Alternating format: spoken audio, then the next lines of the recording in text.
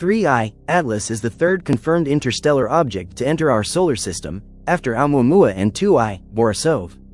It reached perihelion, which is its closest point to the Sun, on October 29, 2025. Its trajectory is hyperbolic, meaning it came from outside the solar system and won't return. Scientists observed unexpected acceleration going from 135 kilometers a day away from the Sun and 60 kilometers a day squared sideways. This is not typical for comets, which makes this mystery weirder.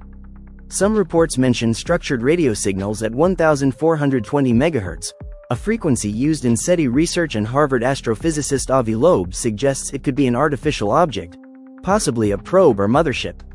NASA and most astronomers classify it as a natural comet, with no confirmed threat to Earth and no official observatory has verified claims of alien technology or released visual evidence of probes.